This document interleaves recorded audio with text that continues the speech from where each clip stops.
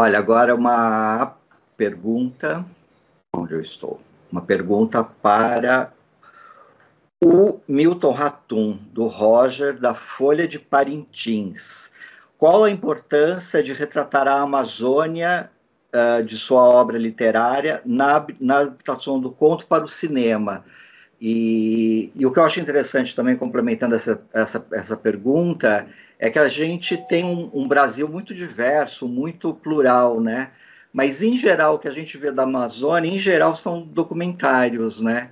E eu acho muito bacana usar a Amazônia aí como locação de um filme no Rio Negro, uma coisa tão, principalmente para nós, aqui para mim, aqui do Sudeste, né, de São Paulo, é, é um outro Brasil, né? É um Brasil, mas para nós é um outro Brasil. Eu acho isso muito interessante. Então é isso, Milton. Como que é, é, é ver né, Amazônia uh, sua, né, da sua obra literária adaptada para o cinema?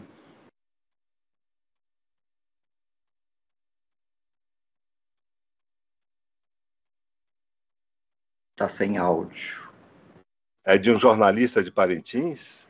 Isso, é de um jornalista da Folha de Parintins, Roger.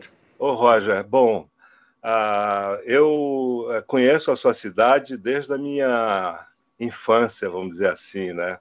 É, eu fui a, sem saber, eu estava numa, numa, num barco em que família de, um, de amigos que eles tinham um cinegrafista, o, o, o Silviano, foi um dos maiores documentaristas do, do, do, do, da Amazônia, né?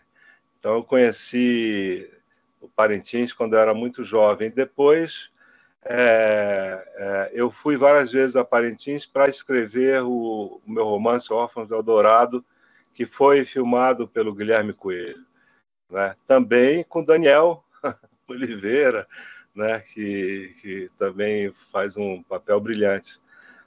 Eu, cara, eu, eu nasci a 200 metros do Rio Negro, então é, eu tenho essa relação. O que mais me emociona na minha cidade hoje não é mais Manaus, exatamente. É o, são as Anavilhanas, é o arquipélago, é o Rio Negro, né? é, a, é a floresta, porque a Manaus da minha infância ela praticamente não existe mais. Né? Então, eu acho que essas, esses dois filmes, Órfão do Dourado, é, filmado em parte aí em Parintins e, e o Rio do Desejo, eles, eles traduzem muito bem essa, vamos dizer, atmosfera do, do, do dos romances né? e, do, e do conto. Né? É, e, é, e eu diria que não é uma Amazônia exótica né? Não é uma Amazônia da cor local, não é uma Amazônia para o inglês ver, não é uma, vamos dizer, não tem esse apelo é, da, da Amazônia pulmão do mundo, né? Que é um mito também, né? É uma Amazônia real, né? É uma Amazônia real que foi é, é, transcendente, né? Que o filme tornou transcendente, como toda a arte. Né?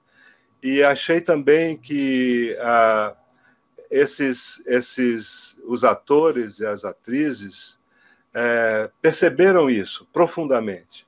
Né? Quer dizer, perceberam. Né? Como diz o Guimarães Rosa, é, eu sou de onde eu nasci, eu sou de outros lugares. Então você você pode, que é a epígrafe do Cinzas do Norte, né?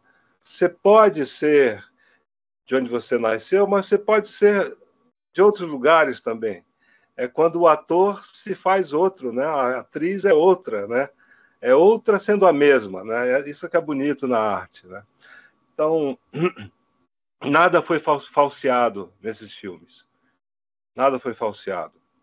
Eu, me, eu sinto uma, vamos dizer, uma, uma, uma grande empatia com, com, esses, com esses dois filmes, porque eu percebo que eles não foram falseados os diretores e atores, vamos dizer, é, assimilaram essa vivência, essa cultura, né? apesar do calor e dos mosquitos.